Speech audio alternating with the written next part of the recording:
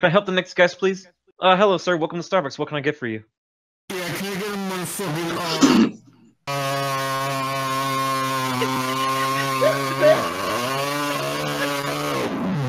burger?